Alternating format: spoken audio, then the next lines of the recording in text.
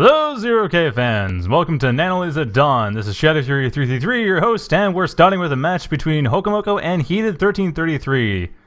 Exhibition matches for today, as usual.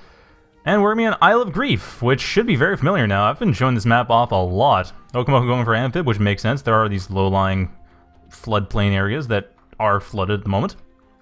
And Heated going for light vehicles.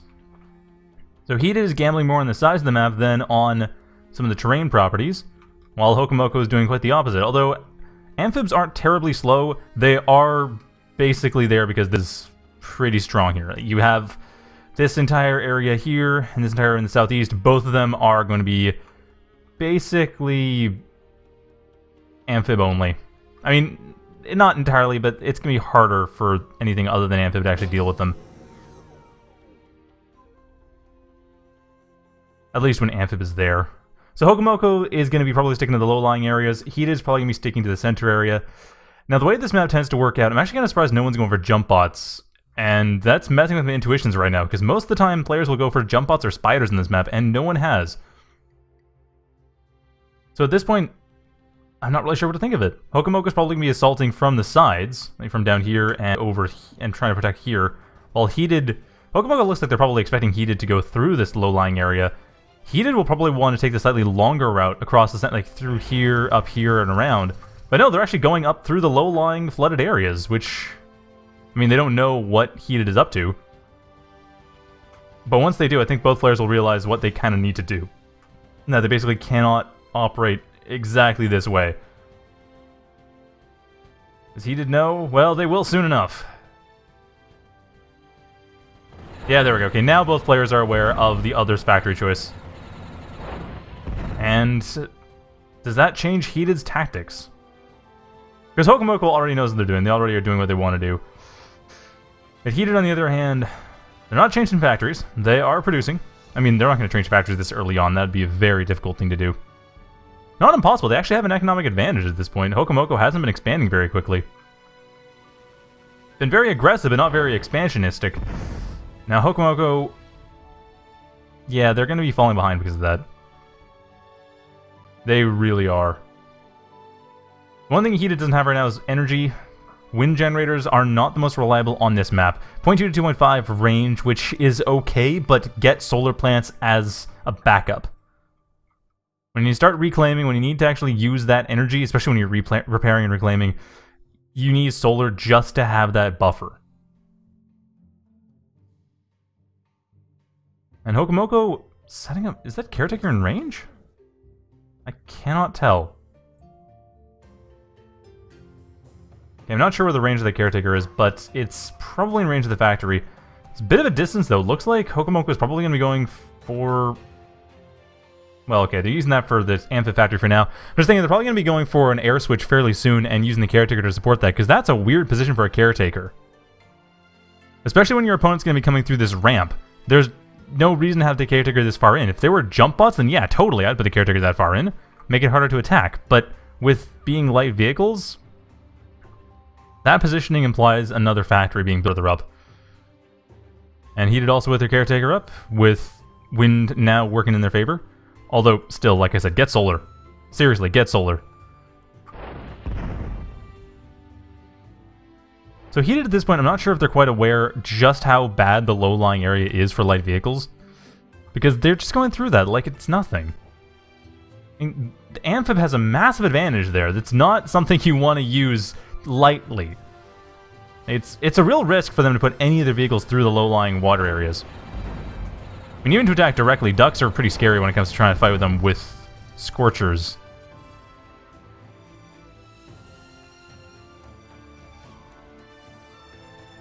So at this point, Heated and Hokomoko both building up fairly quickly. Heated's a little bit faster in their production, but Scorchers are 130 compared to Ducks being about 80. The Scorchers are still a bit more expensive. Hokomoko taking an area... Okay, it looks like they're going to be going through here. They're going to try to attack through this area, take that as quickly as possible. Small defenses over on the western side, which shouldn't be too hard to dislodge, but then again, three Ducks against two Scorchers is probably going to be a win for the Ducks. In fact, not probably, that's almost entirely win for the Ducks.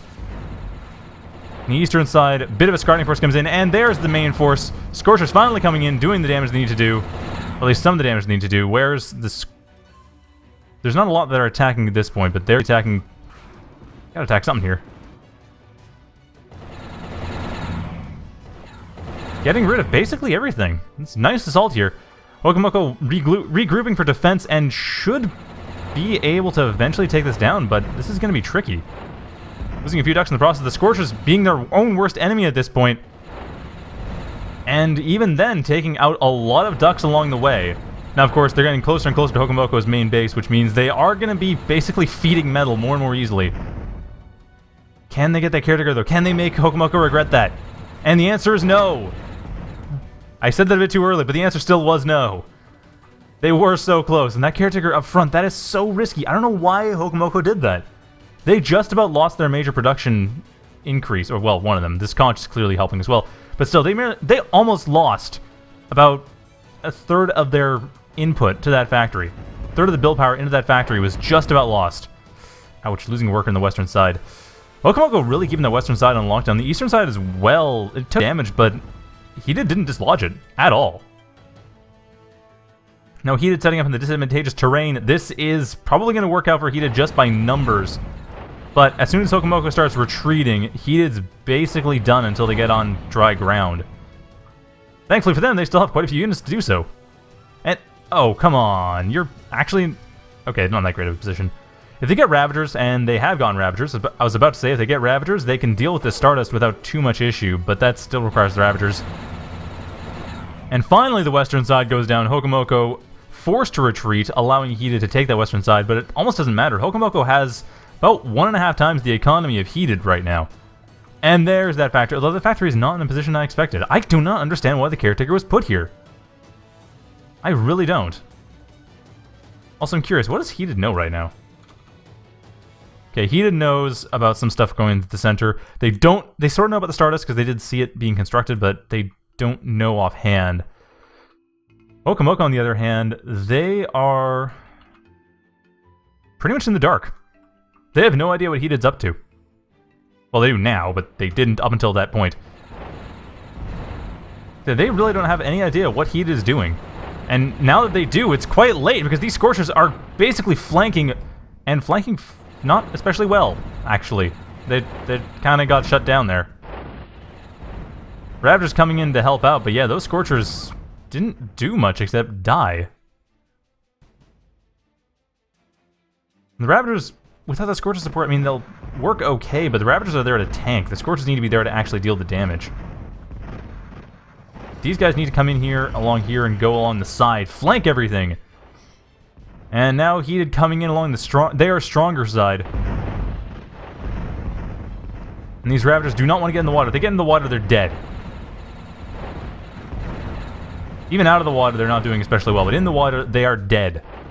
And this is where that problem comes in. Scorch is trying to help out, but basically those the vehicles can't move fast enough. Unfortunately for Heated, they already happened to destroy most of the army before getting into the water, so they weren't quite as bad off as they would have been had they not dealt with the ducks first. But still, Hokomoko, this is Hokomoko's strong side. They have the they have this water here. That's what they want. And Heated attacking along Hokomoko's strong defensive side, although admittedly Hokomoko is very well set up here, but still. He's attacking along there, and it's doing a lot of damage. These Ravagers are holding on fairly well, but it's not easy for the vehicles to get in and actually do anything. And then Heated not able to pay attention to the northern attack force, so they can't easily rush in at the same time. They're trying to, but it looks like they're having a bit of trouble keeping track of both both fights at the same time. Now, with the incoming rapiers, at least they know. Heated's aware of what's going on, but do they have anything prepared? No crashers upcoming so far. And the Caretaker still being shot for, but not attacked. Not even damaged this time around. So the Caretaker in the front really hasn't done much to destroy Hokomoko's chances. It's a weird positioning, but they haven't been punished for it. Now, Heated, are you building anti-air? And yes, Crashers coming up here, and four emergency Crashers coming up. Against eight Rapiers? Yeah, I can see that. I can actually totally see that. Four Crashers seems like a relatively sensible amount. But this is not a good position for Heated. Basically, if Hokomoko attacks with the Ducks at the same time along here, well, it's not going to be great. Wait. Two Crashers up, the other two, oh no, three Crashers up, the other Crasher up just now. Finally getting all of them up. But still not a great anti-air force to deal with this. Good enough. Losing one Mex. Not terrible, actually. Problem, however, being that Duck over in the southeast, but that's not a huge problem. The main problem is that Heated has no easy way of getting in and attacking Hokomoko, and Hokomoko's economy is very strong. Heated has some reclaim to work with, but they just do not have the economic strength. They're so far behind. They got from being ahead to being behind. And a large part of it is this area over here. Like, these are basically a bunch of plus three mexes. So about plus nine right in this area right here. And another plus nine over here, roughly. Or plus 7.5, rather.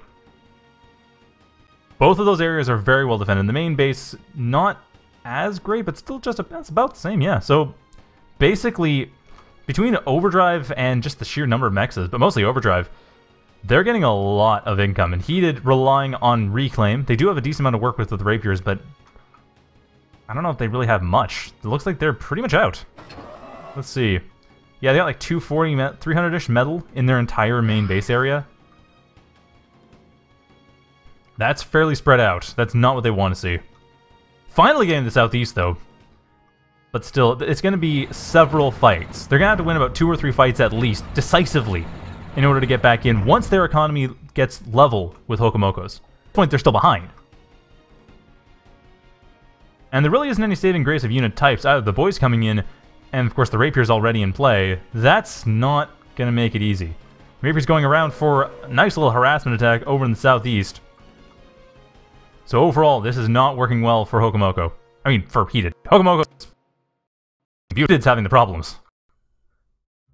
Southeast River is being built, but way too late. 50 seconds left before it's done. That is... Yeah, that wasn't going to be done in time. In no universe that was that going to be done in time. Although I think part of it was prioritization, because he, razors don't cost that much. It should take about 40... No, 56 seconds for a main worker, for just a mobile, or I guess a mason in this particular case. It would take about, yeah, because 5 metal per second, yes, that's about, that's about a minute for 280 metal. That was built way too late, though. Really good timing on the, ra on the rapier attack. Now, Hokomoko, I think this is going to be their last stand. I don't think they're going to keep going if this doesn't work out. And this is not working out especially well. The Buoys causing a lot of problems. The ducks not being too bad, but the Buoys are causing all sorts of problems. And the crashes here, I mean, they kind of need it there so that Hoko respects that, and they don't just send the rapiers in to deal with everything. But at the same time, that's money that could be spent on Scorchers, Rapier, sorry, Scorchers, Ravagers, and to a lesser extent, Levelers. Levelers are okay, but in this particular composition, they're not the best thing in the world. Unfortunately, this is where the crashes need to be, is over in the eastern side of the map, not the western side of the map. Since this is what Hokomoko just does not respect. They don't care. They don't care at all, and the crashes on exactly the wrong side. Mo being moved right now, but at this point, Hokomoko could just, they could just send the Rapiers over to deal with that, this army right here, and now the crashes are completely out of position. That's the tricky part about fighting air. Even with anti-air, just doesn't work. I think if two crashes were on each side, it would have been better, but at this point, it doesn't matter. And Hokomoko breaking apart the army over here. The leveler is actually doing a better job than I gave them credit for. Getting rid of the ducks for the Buoys are still a problem. And there are still ducks coming in, so overall, this is not working especially well. And this last shot here, Crash is coming in to help deal with the rapiers, but they are not going to last too long. I mean, once the ducks get to them, the crashes are dead. It's just, it's just economy. That's basically what it boiled down to. Eventually, Hokomoko just had the stronger economy, and he just threw a bunch of stuff away. The rapiers really did nail in the coffin, though. And I think that had the crashes been over here to deal with the rapiers, this attack would have been more successful. Not completely successful. It would have still been problematic, because the Stinger and the Stardust would have made all sorts of problems. But it would have helped. It would have stopped the Rapiers from destroying everything. However, by that point, it was already too late. By that point, the economy was already weak. I'm surprised Heated didn't rebuild this metal extractor, actually. That, that was a mistake. It's like 3 metal per second right there. That would have been that little bit better. Anyway, that was that, so that was the B on What's it going to be on? It is going to be between Clone and Sizedrum on Iceland. Haven't seen Sizedrum play. Seen Clone play a lot, though. So I know how they work. Anyway, that is going to be up in a couple minutes, so stay tuned.